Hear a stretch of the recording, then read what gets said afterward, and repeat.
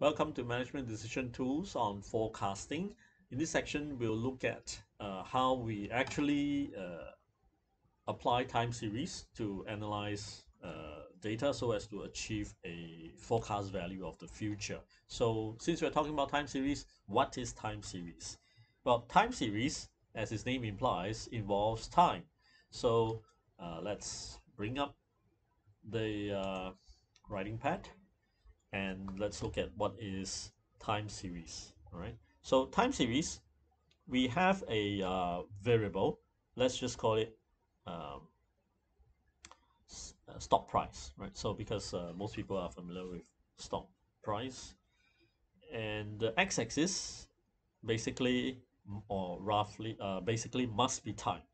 So it has to be time in order for it to be time series in time series, we don't look at time as continuous value, interestingly, right? We look at time as discrete intervals. So time one, we get, uh, well, let's just, you know, write down the time first.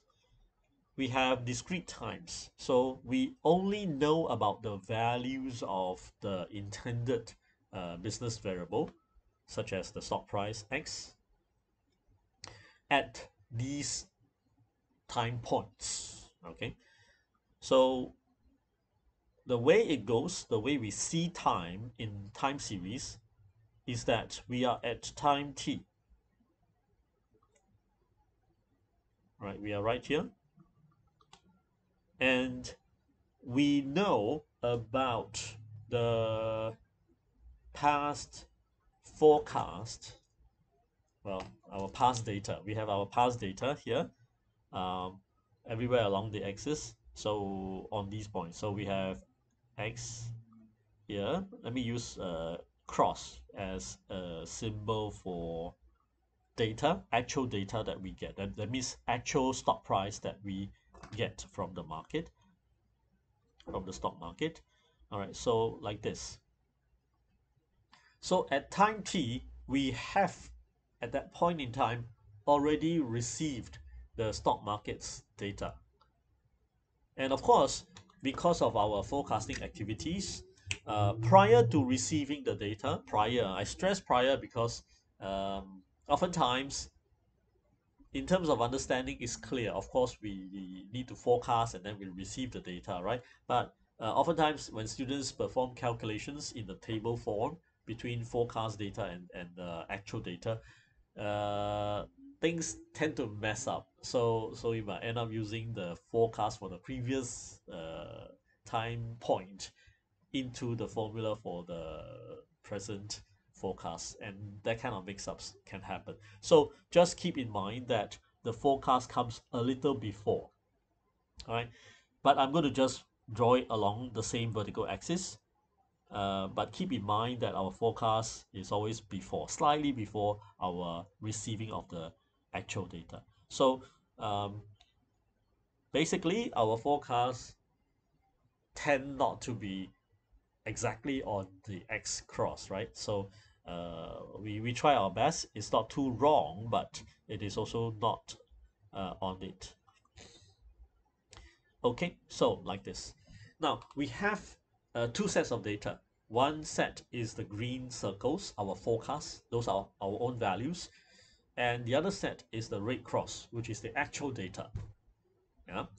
And the idea is, or rather for the for the forecasting formulas, the idea is how can we mix and slice, okay, all these two sets of numbers so that we can come up with a uh, new green circle before uh, time t plus 1 arrives. Okay, so this is t plus 1 and that is our future because we are here and this is now.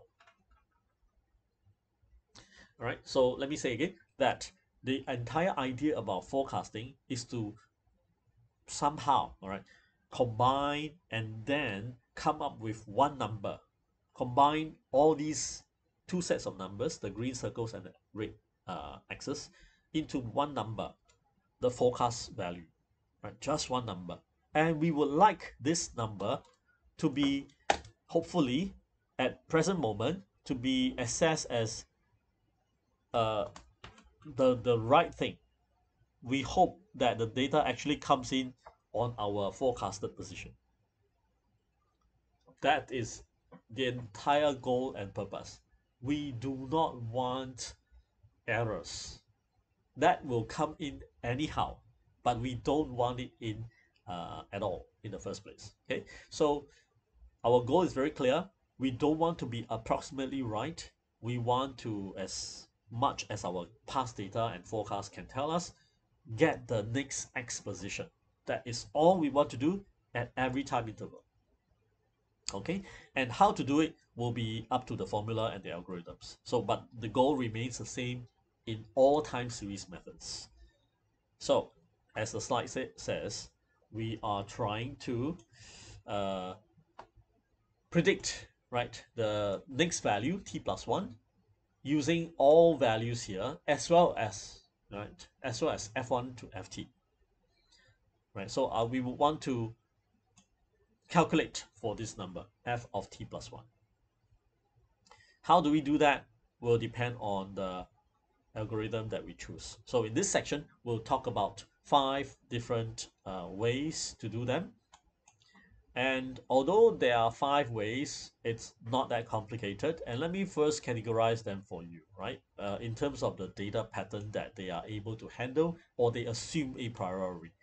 So for the first four methods, they are all averaging methods. Averaging methods, remember, uh, always take the posture, always have this built-in assumption into the formulas uh, that whenever data goes up, must come down sometime in the future so as to achieve that averaging level. Okay, so these four uh, last value averaging method, moving average, and exponential smoothing, they're all uh, averaging methods of some sort.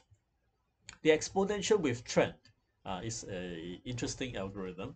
It, it, it is uh, a method that we use to forecast whenever the data series uh, adopt some sort of uh, rising you know pattern or dropping pattern. And we have the enough enough external knowledge to make the assessment that what goes up stays up. All right? So or what goes down stays down.